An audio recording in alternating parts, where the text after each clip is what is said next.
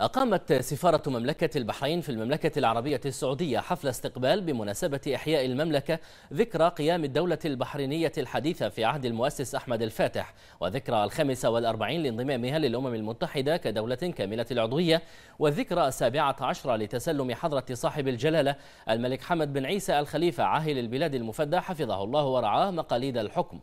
وحضر الحفل عدد من كبار الشخصيات الحكومية والبرلمانية والمسؤولين في وزارة الخارجية ورؤساء البعثات الدبلوماسية والأجنبية المعتمدين لدى المملكة وأعضاء الجالية البحرينية المقيمة وجمع غفير من ممثلي الأوساط السياسية والإعلامية والثقافية والمجتمع المدني حيث أعربوا عن خالص تمنياتهم لمملكة البحرين بتحقيق المزيد من التقدم والازدهار في ظل القيادة الحكيمة من لدن حضرة صاحب الجلالة الملك المفدى حفظه الله ورعاه